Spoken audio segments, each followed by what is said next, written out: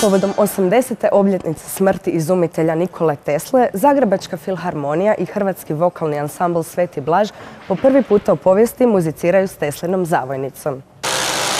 E, to je Teslina zavojnica koja danas u ovu prigodu služi nama kao instrument.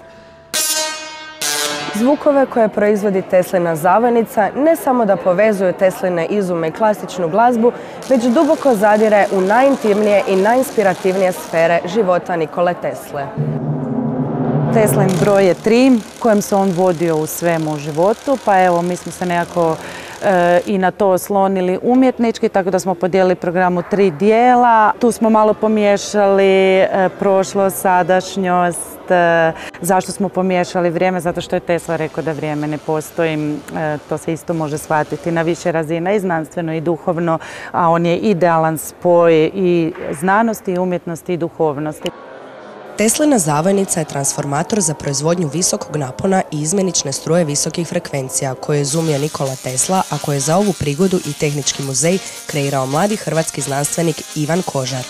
Tesline struje preko visokonaponskog transformatora proizvode izmjenične struje visokih frekvencija koje stvaraju zvukove koji se savršeno stapaju s instrumentima Zagrebačke filharmonije. Htjeli smo uključiti neke korijene, ali ičko njemo kolo je nama baš ko neka inicijacija u cijelu tu priču. E, drugi dio je, ajmo nazvati, inspirativni, skladbe koje su nadahnjivale Nikolu Teslu, kao što su Bach i Schubert. Schubert je poseban i po tome što je to zapravo geteo dijelo, a geteom je Nikola Tesla e, stvarno često ga je citirao i volio. Treći dio je gdje su skladbe Đurovića. Tri stavka potpuno različita. Prvi je elektronika, drugi je a kapela za ansambl Sveti Blaž, a treća je koncert za zavojnicu i orkestar. Kraj e, Svjetlo Dubrovka Palanovića u kojem su svi zavojnice i orkestar i Hrvatski vokalni ansambl Sveti Blaž. Kako vam se sviđaju večerašnje kompozicije? Jako su mi dojmljive. Uživali smo. Jako lijepo, super.